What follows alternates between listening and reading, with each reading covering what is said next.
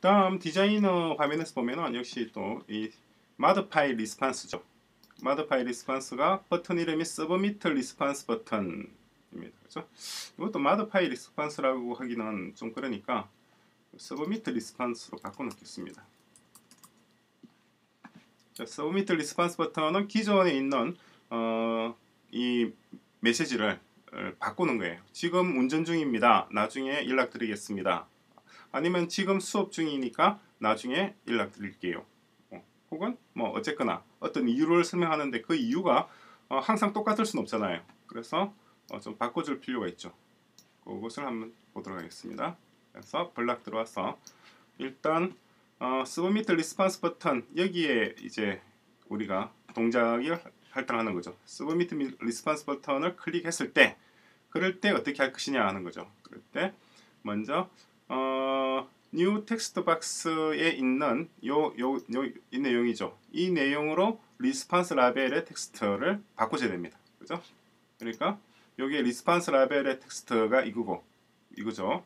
그리고 이것은 새로 내가 어, 입력한 new response text box잖아요. new response text box에 있는 내용으로 response 라벨의 내용을 바꿔주라. 거죠. 그래서 새로운 어, 전화를 받을 수 없는 사유를 새로이 작성을 하는 겁니다. 그러면 response 라벨의 텍스트, response 라벨의 텍스트를 설정을 해야 됩니다. 뭐 텍스트가 안 보이네. 아 여기 있군요.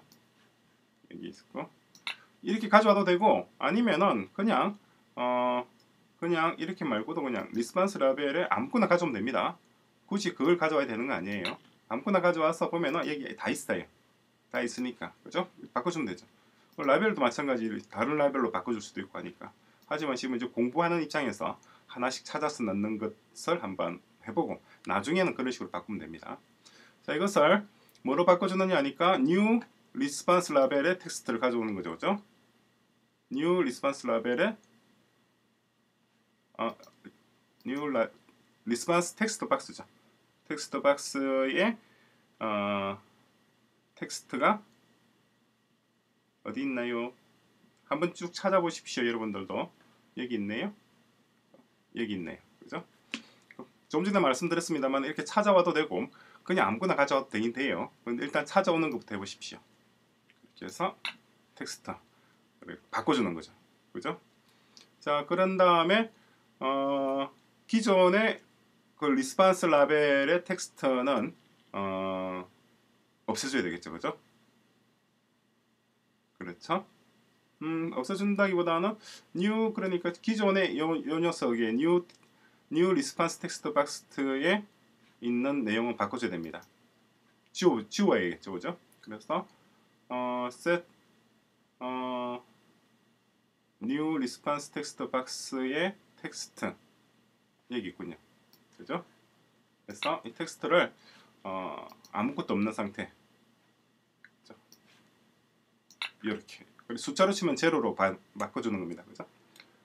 자 이렇게 해서 어, 이제 우리가 디자인에서 이것을 submit response 버튼을 클릭하면은 여기에 적혀 있던 내용이 여기 있는 이 내용으로 가게 되고 그리고 여기 있는 여기 이 여기 이 이 어, 텍스트 박스는 다시 빈 상태 그죠? 비어 있는 상태로 비워진 상태로 바뀌게 됩니다. 그런데 문제가 한 가지 있는데 어떤 문제가 있느냐니까 어, 우리가 컴퓨터를 그러니까 스마트폰을 끄다가 다시 켜게 되면은 이게 다 날아가 버린다는 거죠. 이 정보가. 그러니까 남아 있는 정보는 여기 있는 정보들만 남아 있는 거예요. 그래서 그러니까 요 정보, 요 정보가 여기 딱 기록이 돼 있죠. 이 정보는 바뀌지 않습니다. I'm driving right now. I'll contact you uh, shortly. 이것은 여기에 딱 프라퍼티로 들어가 있으니까 어, 스마트폰을 껐다 켜면은 이 내용으로 다시 원위치로 돌아오게 되겠죠. 그게 이제 문제가 되는 겁니다. 그죠? 음. 그러면 스마트폰으로 껐다 켜더라도 내가 바꾼 내용이 그러니까 변화, 변하지 않고 그대로 유지될 수 있는 방법이 뭐냐는 거죠. 그죠? 항상 스마트폰을 껐다 켜면은 이 앱이 여기 이 앱이 새로 이제 초기화 상태가 될 거고 초기화 상태가 되면은 이게 계속해서 바뀐단 말이에요. 이 상태로 돌아온다. 원래의 원래의 메시지로 I'm drive로 돌아버린단 말이죠. 그죠?